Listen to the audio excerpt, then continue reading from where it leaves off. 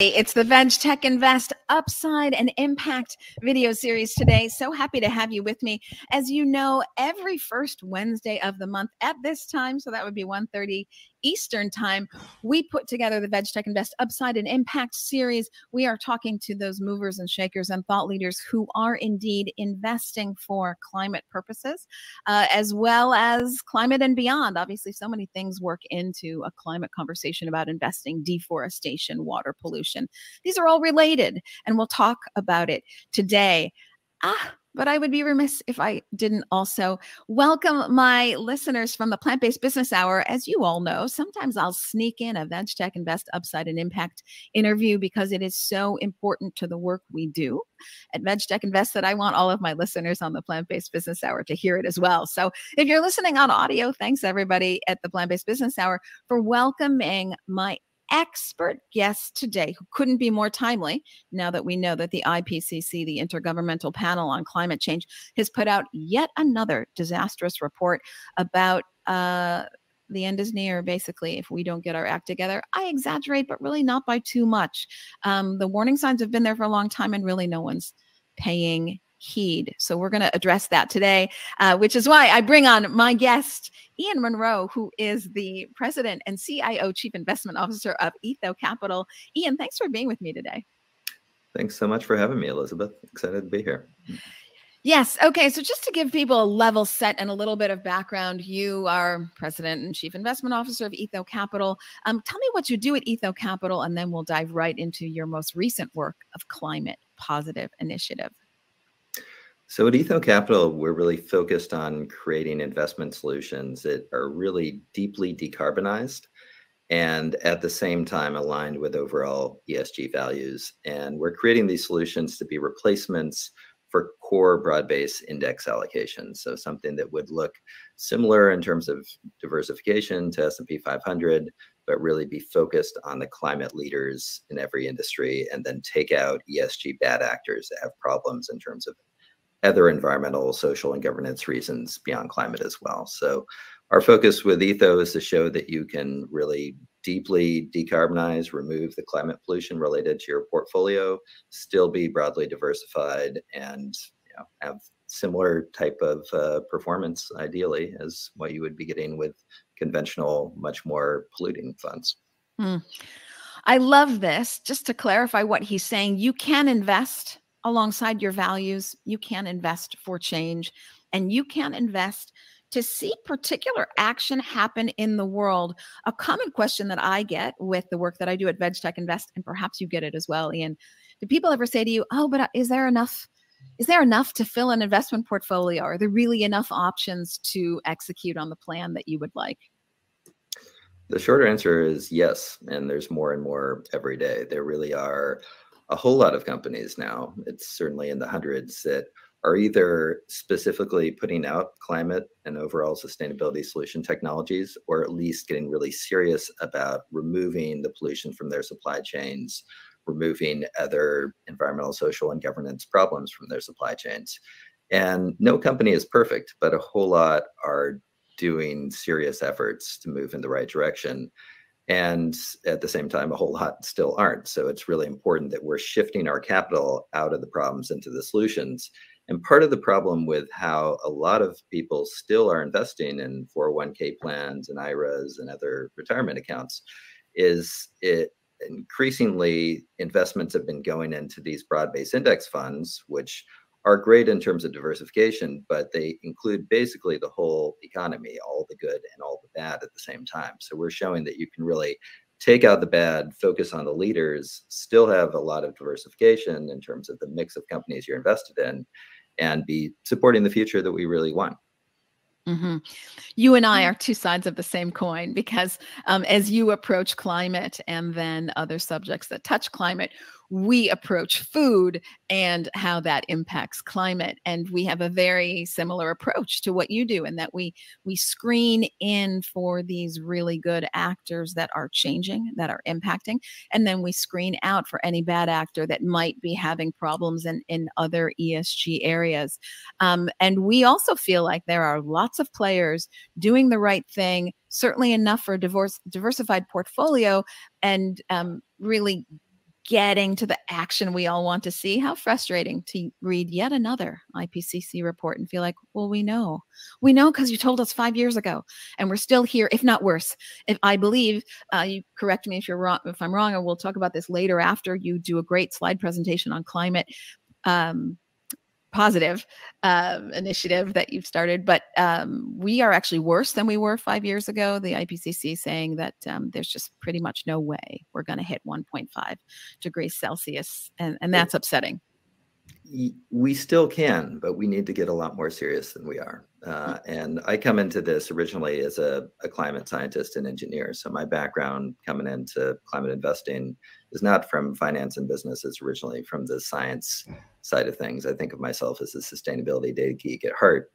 And it was really just seeing what the science was saying about how quickly we needed to not just stop putting more climate pollution up into the atmosphere, but actually draw down the climate pollution that's already up there that got me working on this climate challenge. And originally, I just started working on it because I grew up on a, a small farm in Northern California that I could see uh, from a pretty early age, even in high school, that there were changes with drought and mm-hmm changes in terms of wildfire risk. And unfortunately, a lot of my childhood nightmares have come true now with the crazy mm-hmm. wildfires we've had in California, including one that destroyed my family's farm and, mm. and hundreds of community members and over two dozen family members lost homes overnight. And so we've all experienced this, this fact that climate change is already causing massive destruction here and now. It's not something that's out there in the future. And that should be a wake up call for all of us that we really need to move money out of problems into solutions as quickly as possible. And the good news is we can. We have all the tools to do it. As we've been talking about, a lot of companies are already going in the right direction. A lot still aren't, but we really just need to redirect as quickly as we can. And and again, I'm optimistic that we can actually hold warming below or at least at one and a half degrees. But I think it's really important that we don't think about one and a half degrees uh, of warming as a target. It's really a mm. limit because the tar true target is to get back to the healthy, stable climate that humans and every other species has evolved with for thousands, even millions of years. And so it's not enough just to get to net zero and stop at one and a half degrees warming. We want to actually reverse as much as we can the climate damage that's already happened. I know I've talked on this podcast and, and people can refer back to it for compliance reasons. We're not going to dive into Ian's ETF or my own. Um, everyone has all the, the websites at the bottom of the screen. Um, but generally, the work that we do, and I, I know um, I'm here to support Ian and all the work that he does, the general work that we do at VegTech Invest shoots for below 1.2 degrees Celsius. So, way below the Paris Accords of the 1.5. But a little stat that people might not know about is the global global warming potential. So we say we shoot for 1.2 in our work. Um, the global warming potential of the S&P 500 index is 3.2 degrees. So this is the importance of shifting your investments because if we leave our investments as status quo and we rely only on government policy to move the needle, it's not going to be enough. Governments alone are not going to do it. It really is going to take all hands on deck. Would you agree, Ian? Totally and I, that's been part of my own career journey. Originally, I thought I was going to be mostly working on climate solutions as a scientist and engineer. Then I worked in international development, policy, and economics in over 30 countries, working with a lot of governments, including the US government, and came to the conclusion that that wasn't moving nearly fast enough. But what was driving things was what was happening in the investment community and uh, technology sector and plenty of problems there as well. But again, that's where I think we have to have the fastest movement. And a lot of it comes down to just how we manage our own money. It's not just about ginormous players in the financial system. It's really about what we actually own with our own retirement accounts, because that is actually a really substantial piece of the ownership of the companies that are the biggest polluters. Is and increasingly, we need to, to make it a major piece of the companies that are the major solution providers. Mm-hmm. I always say on this show when you combine your dollars with your voice, you are so incredibly powerful. So, if we're going to move the needle, it's going to have to start with all of us. And, you know, you invest already. Like it's not a, you know, you might say, I can't rip off the roof of my house and put on solar panels not in the budget this year and we can't be under construction for whatever reason, or I can't get rid of my car and buy a new electric vehicle. Perhaps that thought is going through your head, but you're already investing. This is nothing new. Just pick the investments that work for you. I would argue the same with diet, by the way. Uh, just let your fingers do the walking in the grocery store and move from that burger that you're used to to that plant based burger. And you see how everyone doing that once or twice a week, switching out to plant based sausage, let's say plant based deli meat, the list goes on. Once or twice a week, you know, that's 10% of your eating habits are shifting. That moves the needle because nothing moves the needle like money. What do you think, Ian?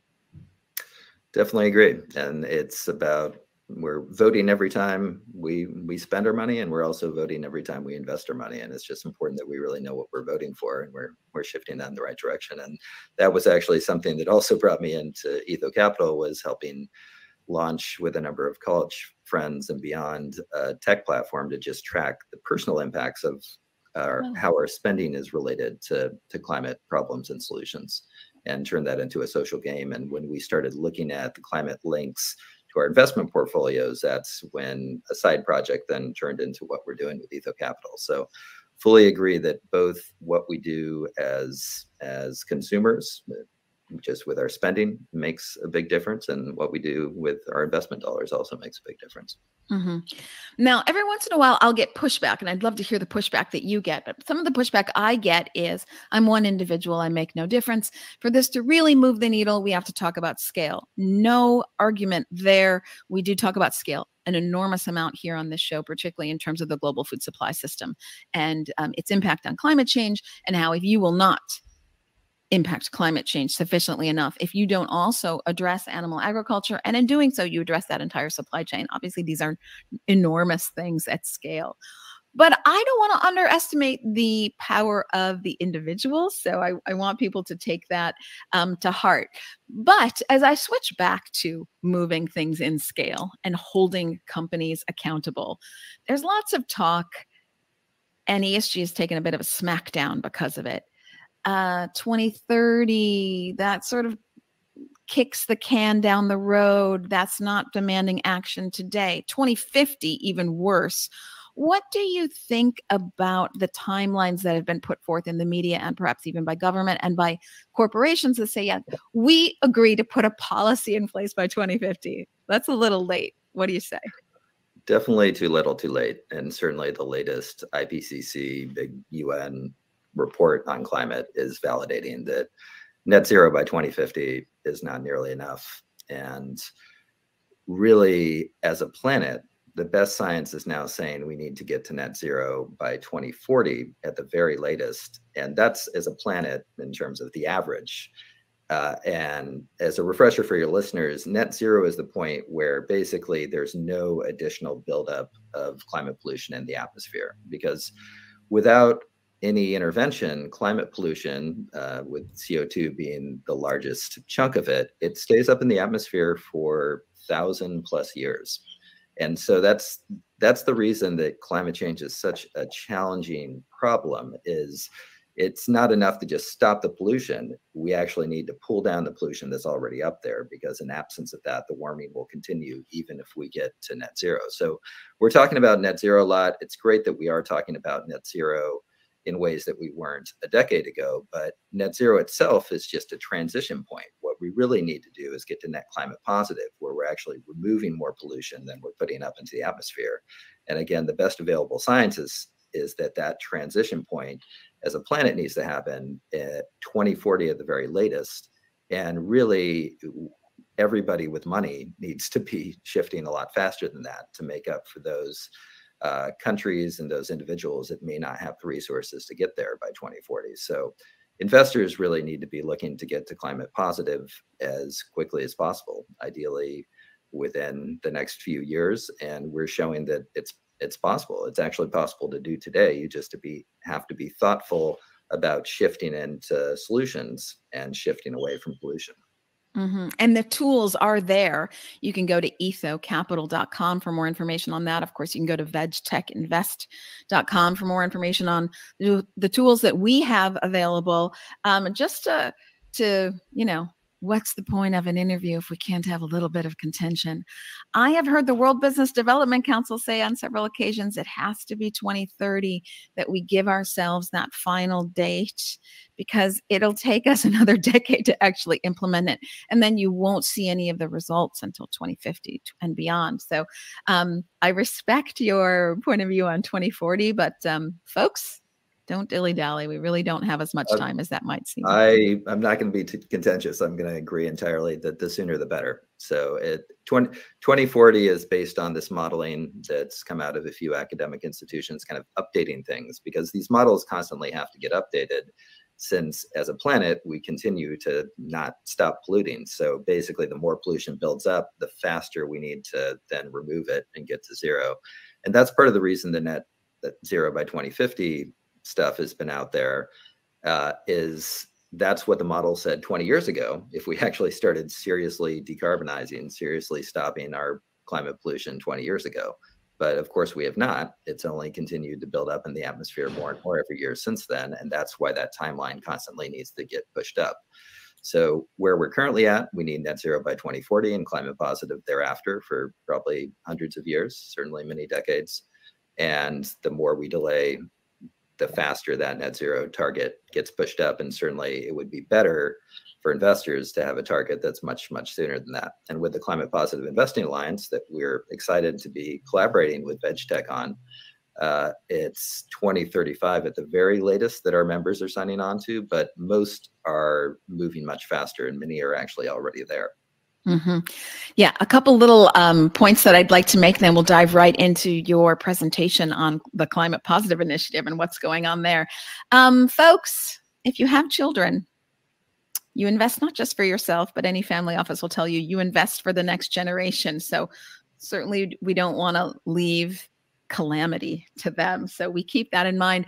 A shout out to Project Drawdown because we mentioned it here about drawdown initiatives, and we'll talk about it more with your presentation. But just a shout out to that great group. Please Google uh, Project Drawdown if you'd like to learn more. I think they're a wonderful source of information. And again, we have Etho Capital. That's Etho without the S ethocapital.com and VegTech Invest. As I share my screen, and for those of you on audio, I'll do some narration, so don't worry, you'll get all the good points. As I share my screen, I'm hoping that when we get to a couple slides, we can take a, a stop and really help people understand the difference between carbon, methane, nitrous oxide. They all have different lifetimes in the atmosphere, and some are more potent than others. Okay, everybody, here I go. I'm going to share my screen and um, you'll still be able to see. Well, I'm not going to show Ethan and myself because I really want, we've got some small print here. So I really want um, everybody to be able to see. I believe this is the first slide. Um, I will let Ian take it from here. This we're talking about the climate positive initiative, everyone. Yeah, and this is just a quick quick intro slide. This visualizing this climate positive future that we need to get towards.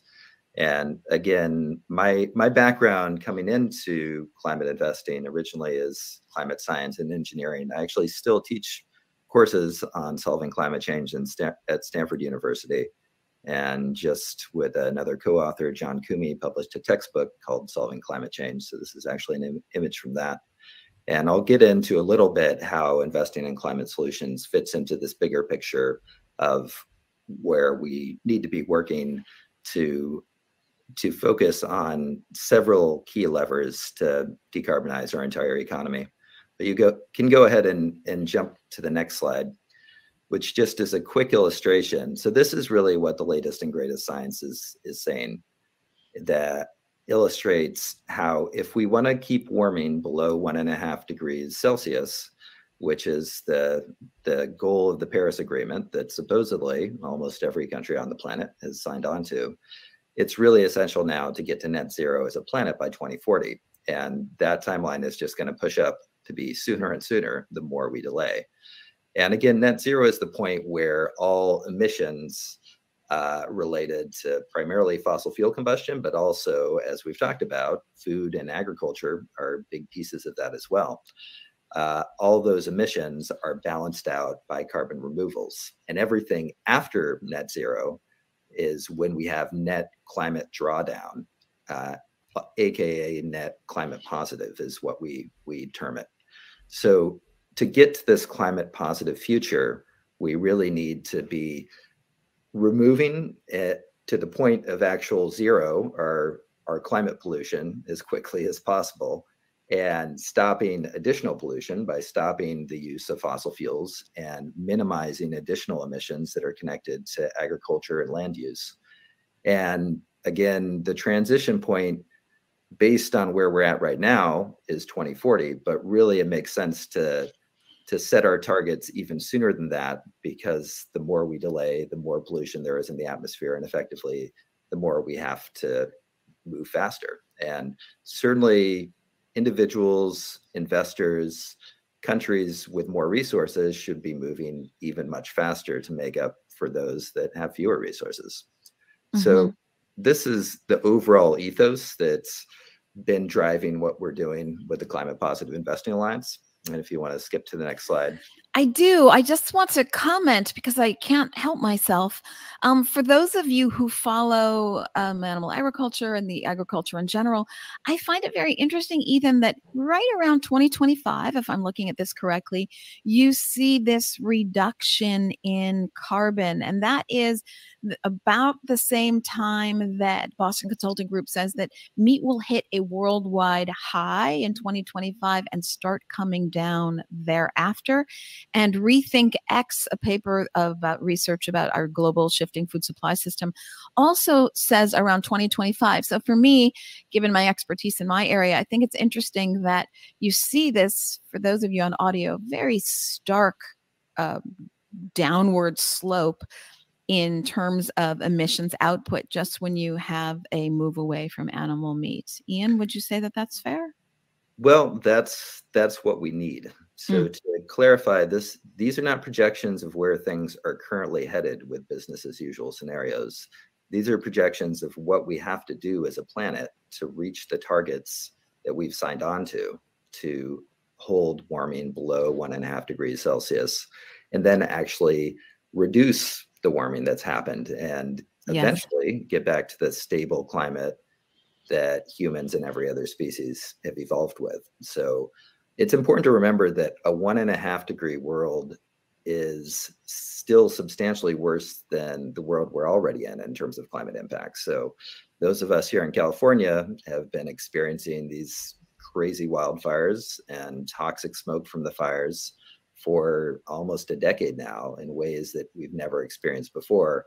And that's only going to get worse in a one and a half degree world. So it's it's all the more reason to keep warming as little as possible and then ultimately reverse it. And that's really what we need to be talking about. And that's also why net zero, it's not a goal, it's a transition point.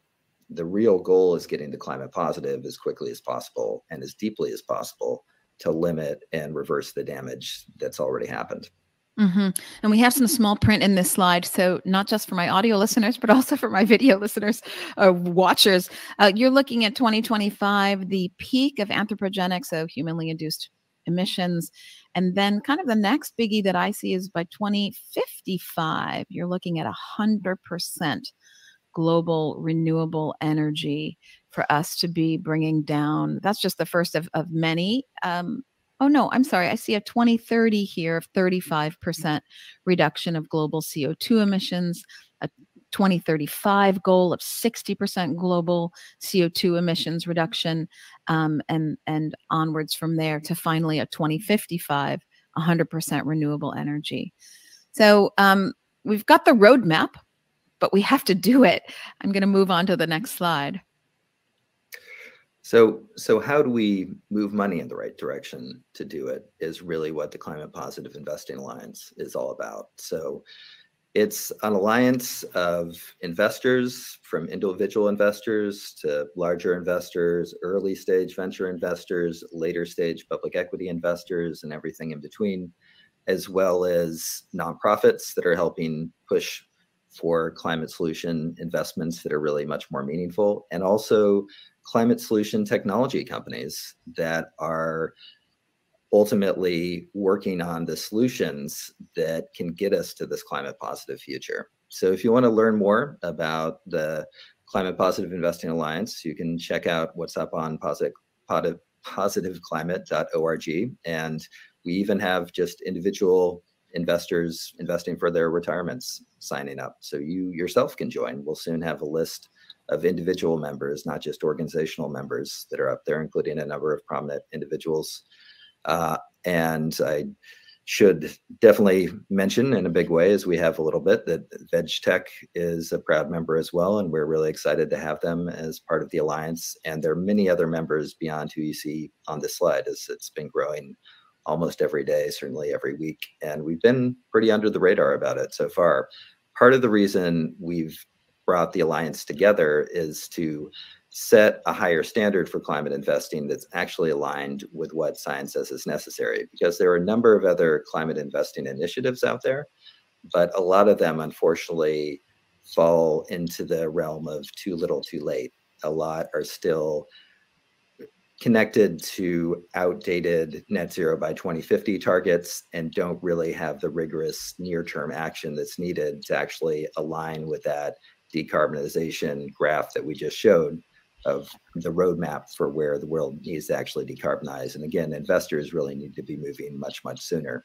So, at a minimum, everybody who is controlling money that's signing on to the Climate Positive Investing Alliance is signing on to shifting their own assets to net climate positive at the latest by 2035. But again, many are going much sooner, they're moving much faster, and a number of them are already there. A number are already almost entirely focused on investing in climate solutions.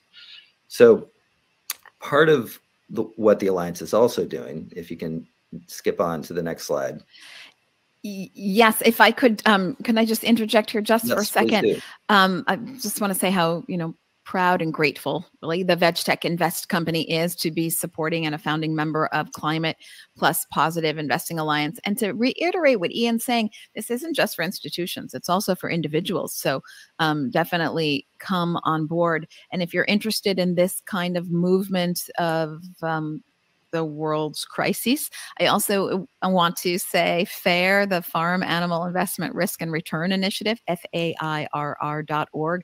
They are a wonderful institution um, helping to educate people about the risks if they are uh, investing in animal agriculture and how to kind of move out of that. Of course, vegtechinvest.com if you're interested in um, not just getting away from meat, but really seeing change in the world for alternatives. Um, and then, of course, um, ethocapital.com and climatepositive.org. Is that right?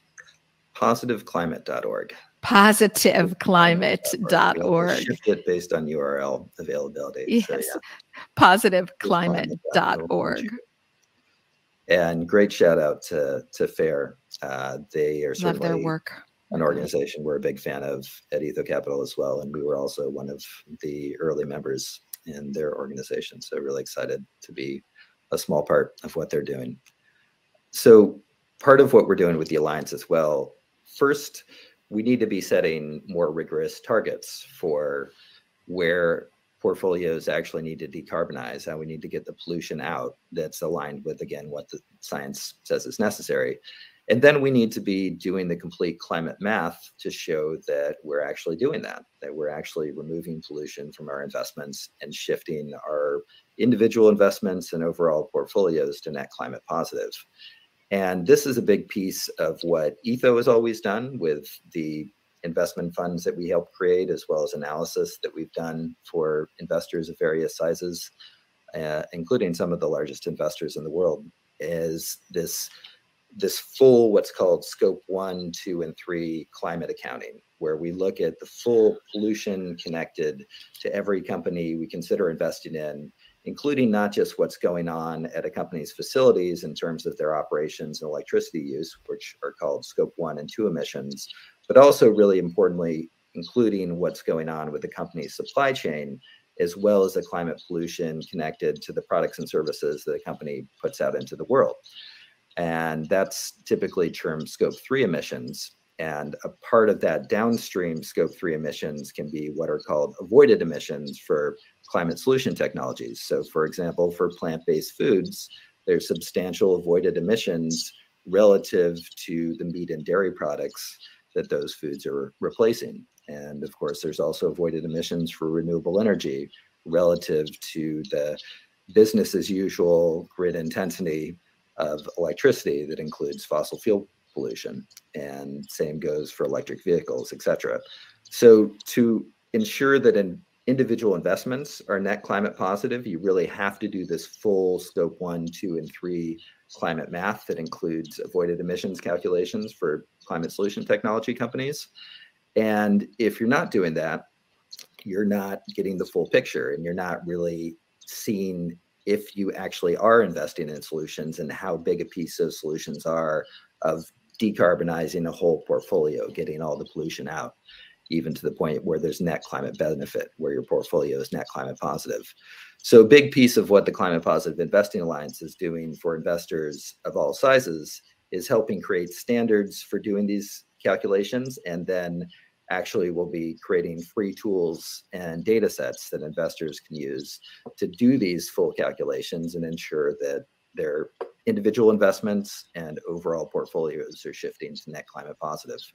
And we get into some more details about just overall climate positive scope one through three climate impact calculations on the Etho Capital website. The link right there, ethocapital.com slash climate dash positive dash investing uh, and happy with any of your listeners to reconnect after the talk and geek out about the details of this. But suffice to say, it's really essential that we're doing the climate math to show that we actually are achieving the goals that we're setting our, for ourselves. So that's a big piece of what the Climate Positive Investing Alliance is doing as well. So this resonates with me so deeply because at VegTech Invest, we've been really working on that climate math. And uh, I uh, empathize with the audience when they say, "Oh my God, ESG greenwashing, climate zero, climate neutral." I, you know, I, I'm lost. And then indictments. You know, I mean, there I'm just lost in the news cycle about what's going on in the world and what makes sense to me. I just want to highlight what Ian has said here because it is so critical. This is where we really focused our climate math with VegTech Invest. And again, you can look at the work we do there if you're interested in, in investing for change. But that avoid that emissions avoidance is really key to the math if you are to have the most impact possible. And that's where the shift comes right? You you were focusing one was focusing their attention on let's say an investment that had a, a large emission output. And if you shift to something that has less emissions you are avoiding emissions and that's getting you to climate positive I also want to underscore here it's it's where we focus a lot of attention um, for our shareholder engagement work. Getting the data for emissions on scopes one, two, and three is part of the climate math. Very hard to do the math if you don't have the numbers.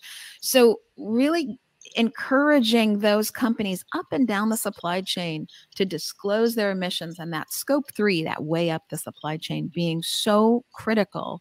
Um, doing a lot of talking here. I'll show our faces uh, being so critical. So, um, I, you know, if you're interested in shareholder engagement, please reach out to me. We have a lot of campaigns really encouraging companies to show that data. It makes such a difference for us. So, um, just this is really an important slide, and I'll let Ian continue, but I just wanted to to lay that out. And one more concept is Ian and I met at COP27 COP27, something very interesting happened. Love to hear your feedback on this, Ian. But the zeitgeist shifted with the policy of damage and loss, that concept that the large countries that are emitting emissions must pay for the impact that they have on smaller countries like island nations that are having trouble now growing their own food because the water level has risen to such an extent that their plots of land are filled with salt water.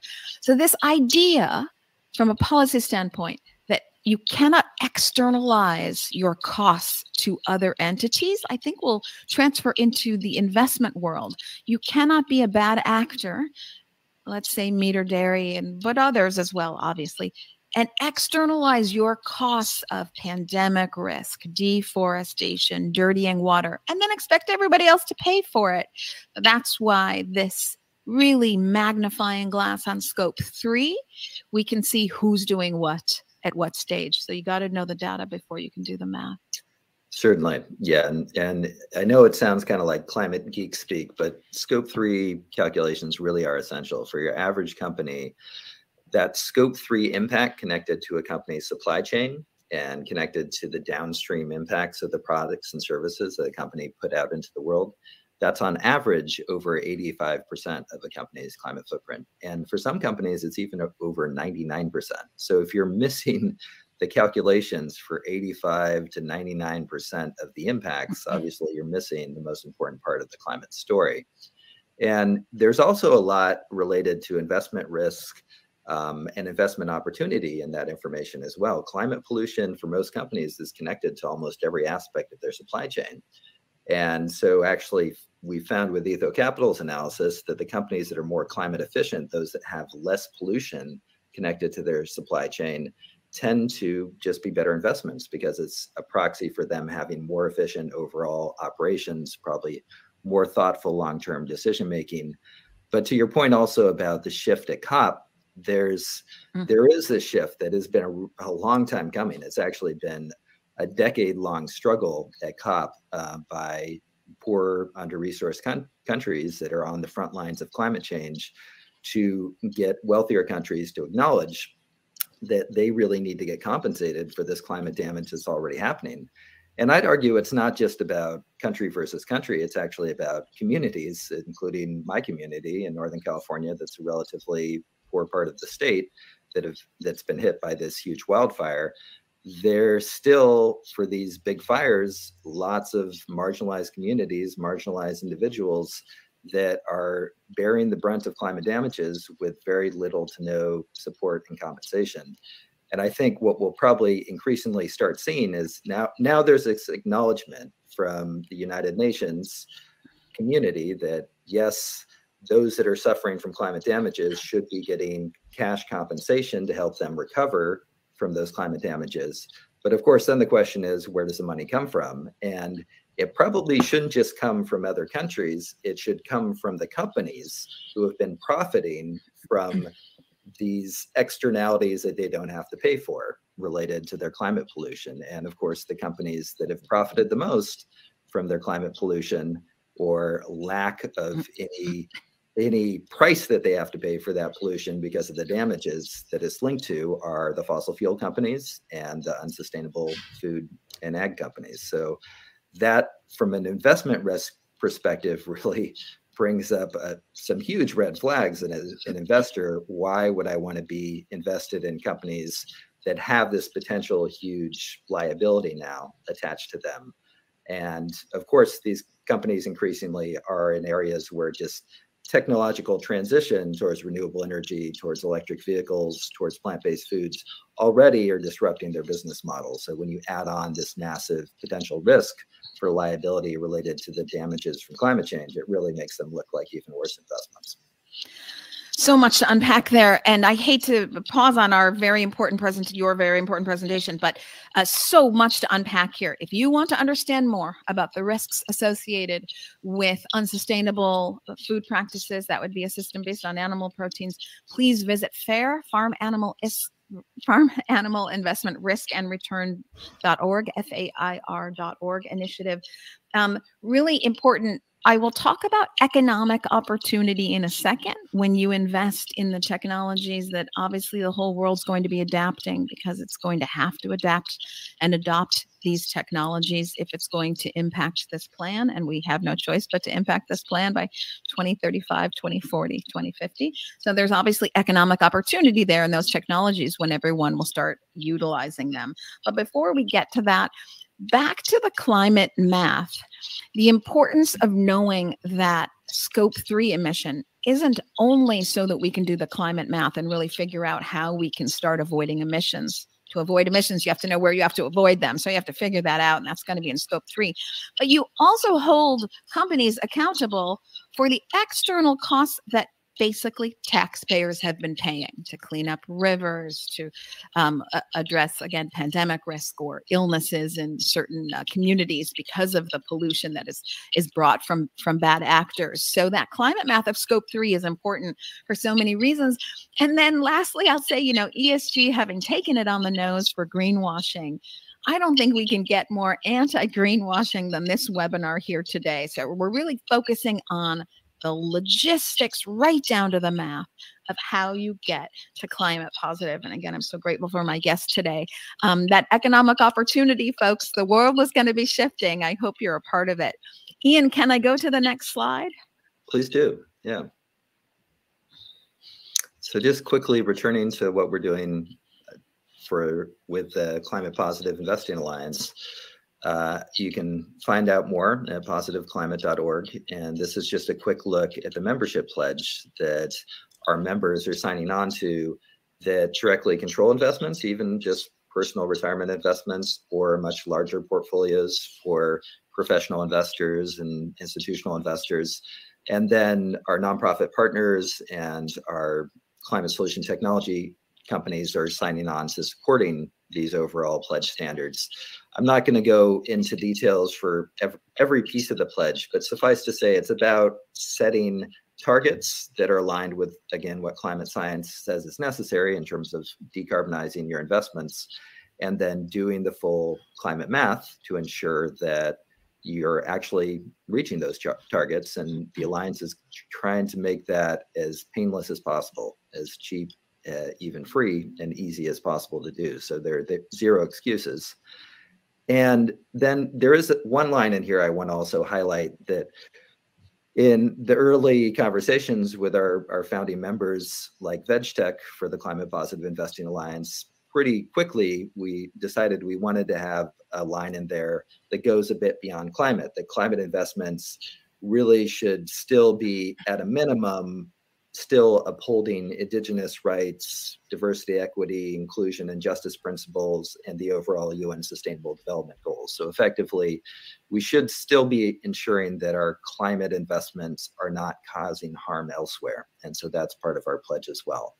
And we're really doing this together as best as we can. And we're doing learning while doing, but there is already a lot of resources that are out there. With Etho Capital on the public equity side of things, we've we've shown already that entire index portfolios can become net climate positive today, not decades in the future, and align with overall ESG values at the same time. So it's it's quite possible to do now for many types of investments. And for the types of investments we can't quite yet get to net climate positive, we need to figure out ways to get there as quickly as we can. So that's what the Alliance is all about. And if any of your listeners are interested in joining our growing community, there's zero cost to being involved. The, the only cost is really you're making sincere efforts to get there with us and get there as part of an overall community to push to show that climate positive investing is possible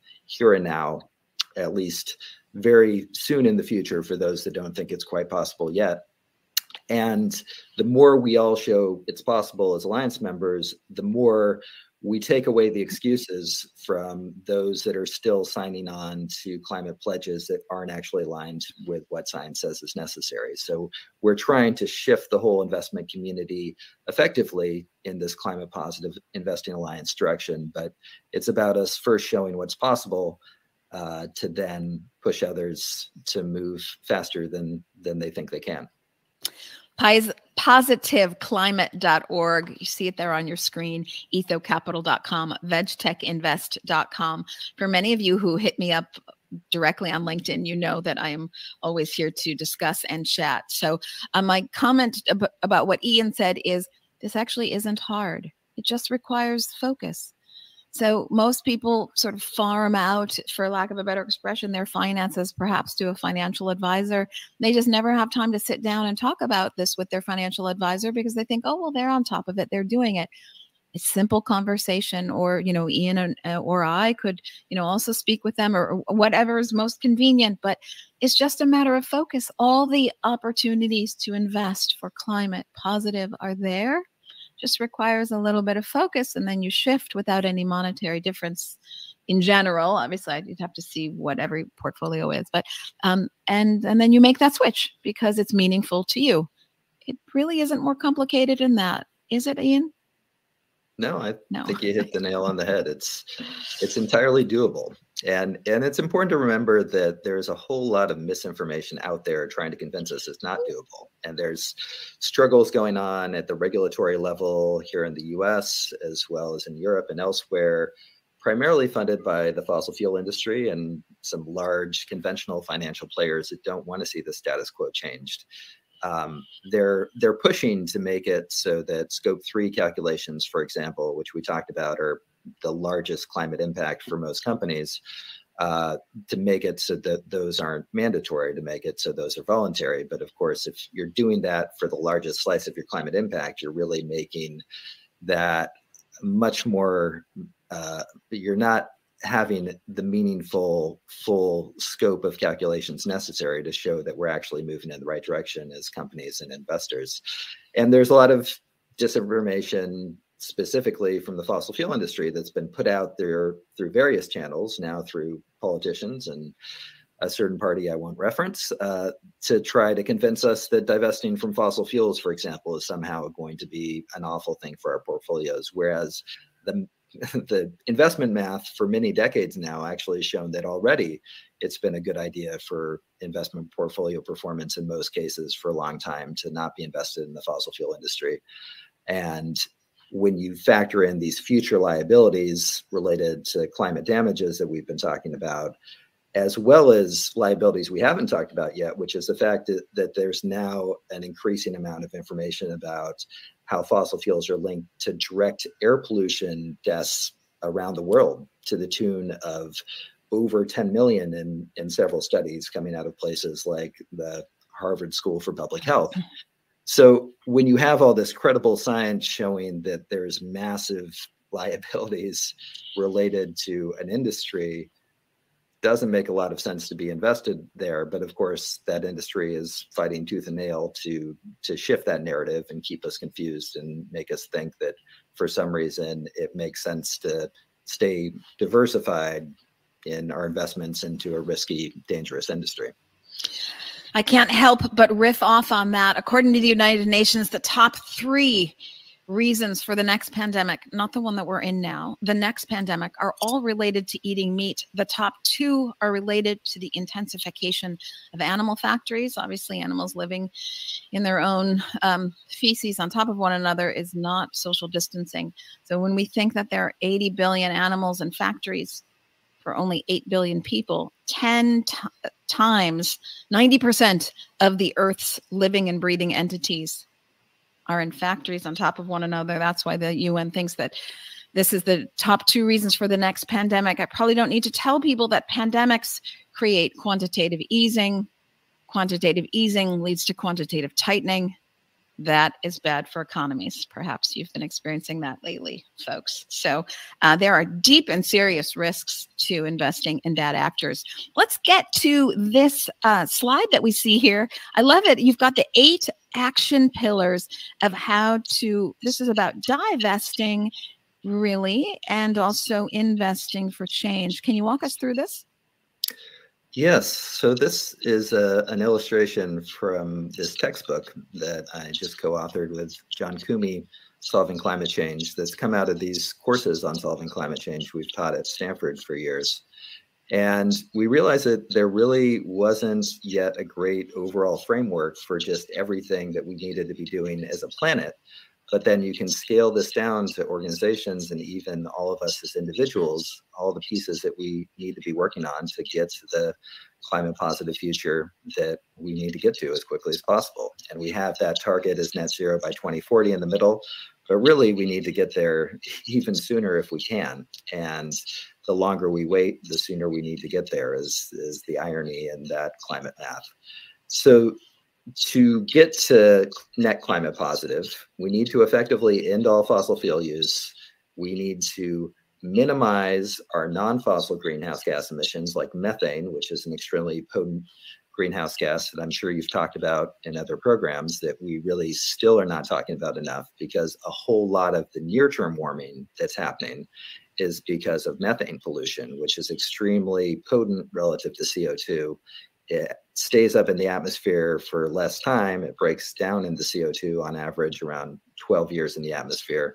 But basically, methane is a huge part of the warming that we're currently experiencing. And of course, the biggest sources of that methane pollution is animal agriculture and our meat and dairy industry, as well as the fossil fuel industry, which releases a whole lot of methane in uh, production of natural gas and oil and coal. And uh, a lot of leaky natural gas systems all over the place are leaking out methane everywhere. So we need to minimize that non-fossil greenhouse gas emissions and then we need to actually flip our land and our ocean our biosphere to become net climate positive where it's absorbing more climate pollution than climate pollution that we're emitting into the atmosphere so to get those key elements together we have eight action pillars that we talk about in the book. And as investors we can think about how these action pillars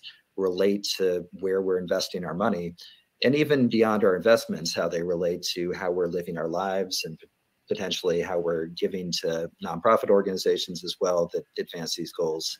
So the eight pillars that we outline are electrifying everything as quickly as we can as and decarbonizing our electricity so making sure the electricity is coming from clean sources minimizing our non-fossil greenhouse gas emissions, a lot of that is linked to our food and agriculture, which I'm sure you've talked about a lot in other veg VegTech Invest conversations.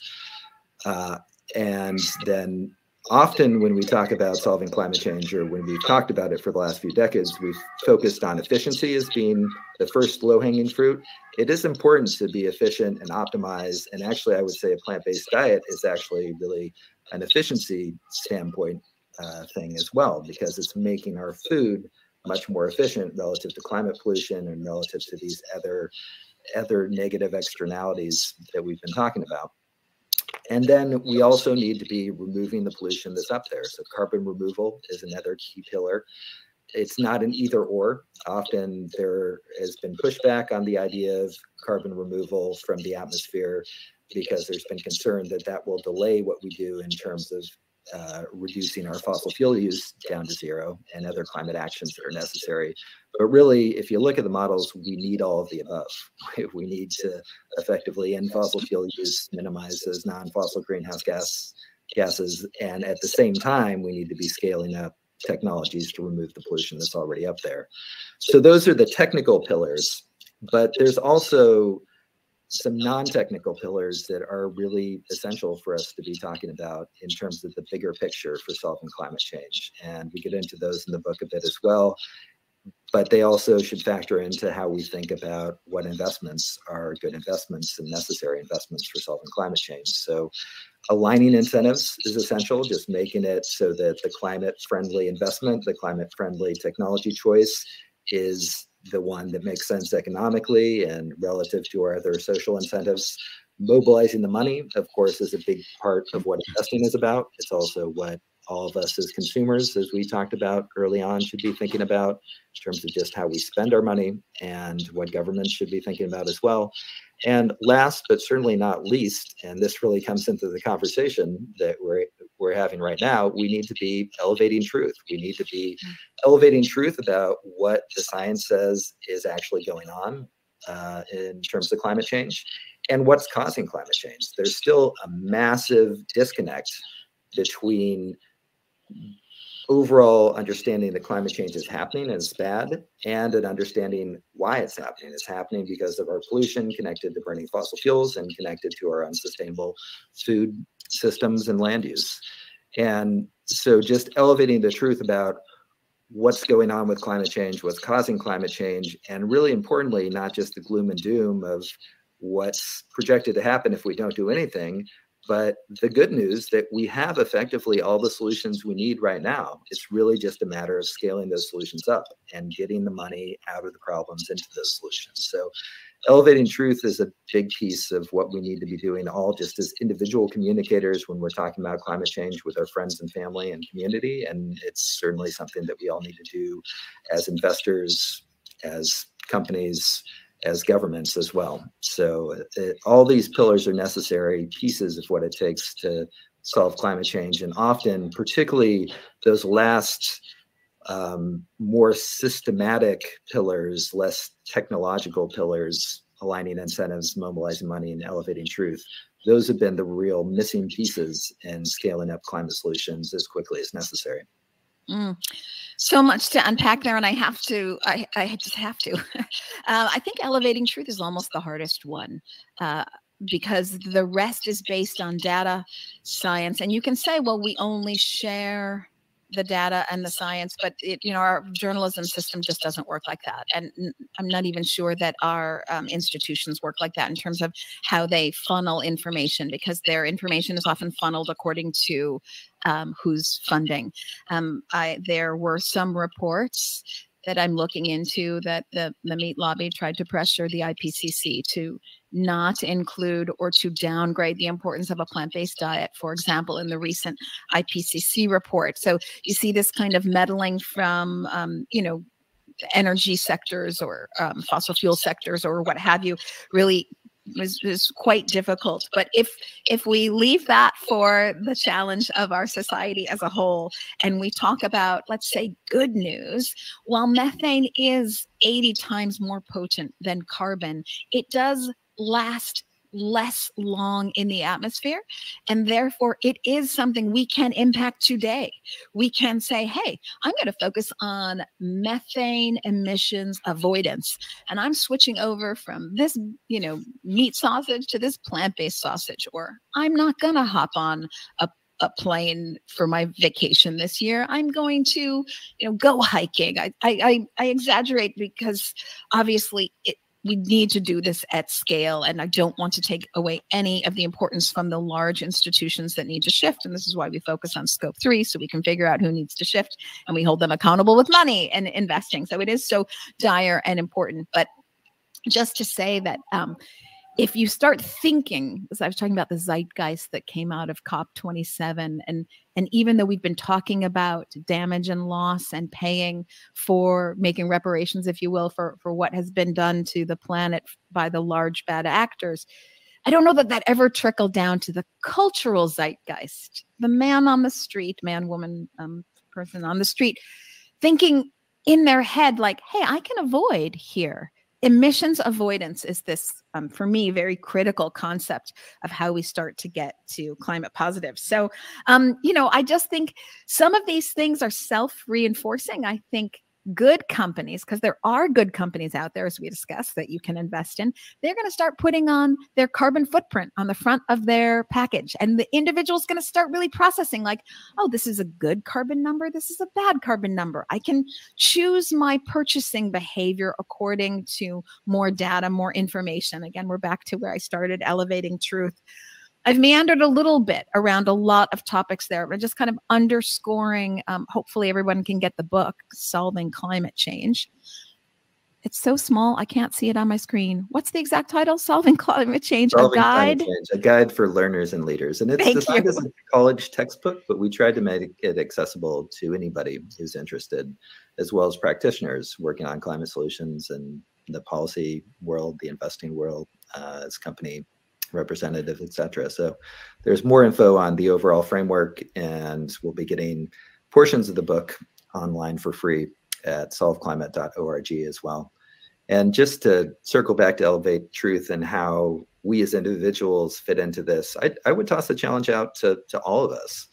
Um, and that really we can't wait for our companies and our policymakers to be doing the right thing in terms of climate. And that includes elevating truth. And we can't wait for our media and governments to really do what needs to be done there to, to say the truth about what's going on with climate change and importantly the good news about all the solutions that are out there we as individuals actually are the most effective communicators in many cases for our friends for our family for our work colleagues uh, if you look at surveys the most trusted messengers are generally people you know not some company and their marketing spin or some government official giving their politician spin. So really elevating truth is about all of us. It's not just about the media. It's about the conversations that we're having and we need to be having more of them and just get into the facts of not just the bad news about climate change but the good news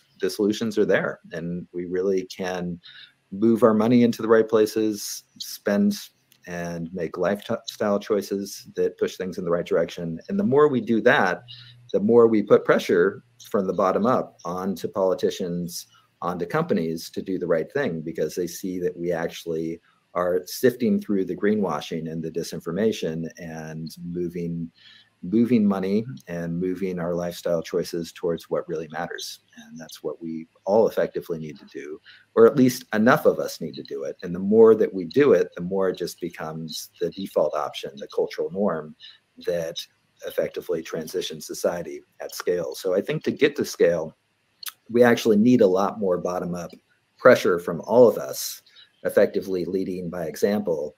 Um, and that will help bring the, the top down policy decision making that it can accelerate things as well as the, the company decision making that can help change industries. Hashtag retweet. to underscore what Ian is saying, and for those listening by audio, this great visual that I'll share on my social medias that really shows how we need all hands on deck. It's showing fossil fuels as well as non fossil fuels uh, that needs to shift, and of course, elevating truth, as we've mentioned. So um, it, it will be all hands on deck. And when we demand better media and when we make those lifestyle shifts of moving, let's say, to more of a plant based diet or when we shift our investments to align with what we already believe in, I do believe that we will see real and powerful change. The race is on because we only have about a decade, folks. So, um, Ethan, I think I'm going to stop sharing the presentation unless, unless there's. I mean, we have our wonderful last slide here, but I think um, we're, we're. Thank you, everybody. So uh, you have your um, etho ethocapital.com and positiveclimate.org and vegtechinvest.com as well. We have gotten um, a question or two, and I just did want to take that from the comments if you still have time, Ian. Certainly. Okay, there's just one question here that I wanted to um, ask from Subramanya TJ. Hi there. Thanks for joining us. I really appreciate that. What about your views on insect food for cats and dogs? And um, he said, insects grown on food left over the black soldier fly. So I have a take on that. It's perhaps different than Ian's, but I'll just say that um, according to the United Nations, the top three uh, concerns for the next pandemic are all related to the intensification of animals, and that would include insects. So when I think of insects, I think of you know much smaller than mammals, for example. And when I think of so many um, epidemics already, it's they're spread from insects. So I consider insects to be a a material risk, and it's not where I personally would be focusing. But um, just thought I'd share that. Do you have any thoughts, Ian? I'd say from a climate math perspective, I've I've seen some startups doing pretty compelling things with uh, soldier fly larvae that are very efficient at converting food waste into protein in their bodies. And from an animal welfare and disease risk perspective, that's certainly probably better than our current industrial agriculture system in terms of industrial animal ag. So it's it's part partially just I can't tell you how to feel about insect lives versus bird lives and mammal lives and uh, from a climate emissions perspective, I, I've seen some technologies like that that certainly look better from a climate perspective, but from a an overall organized organism welfare perspective, I, I can't tell you how to feel about it. Yeah, for me, I leave the the welfare out of it, and I see the climate positive uh, perspective for sure. but I I do worry about that pandemic risk. I I see heightened pandemic risk there, and I I know there's lots of talk about oh it won't be it won't be, but um, already so much pandemic risk within the intensification of um, mass breeding, and you just think how much breeding would have to take place for insects to be food and and um, I just I I worry about those numbers. So I would just say to this um, viewer, take a look at the pandemic risk, and then um, you you can decide for yourself. Ian, I think I'm going to stop us there. We said we'd be 40 minutes, and here we are, an hour and five, with so much more to still talk about. So I hope that you will come back on the VegTech Invest series, Upside and Impact. We could go on for a very long time. Hopefully, we've answered some of your questions, folks. And to those of you on audio, you can always look at the video of this. It's on the VegTech Invest LinkedIn page, and we will have a highlights clip because this was such a long interview. Um, and you can reach out to Ian or myself on LinkedIn. You can also find us on Twitter. Then again, it is ethocapital.com, vegtechinvest.com, and positiveclimate.org with another huge shout out for FAIRR, F A I R R.org. It's with this that I say goodbye to everybody on Facebook, LinkedIn, YouTube, and Twitter. Ian, you stick around, but everybody, wasn't he a great guest? So happy to have you with me today, Ian. I just want to say thanks again for having me. It's it's really been a pleasure, and thanks to all your listeners for doing what they can to help us get to this climate positive future we all need to get to as quickly as possible. It's all hands on deck, everybody. We know our marching orders. Everybody, I agree with Ian. Thank you for all you do. And I will see you next month on the VegTech Upside and Impact webinar series. Bye, everybody.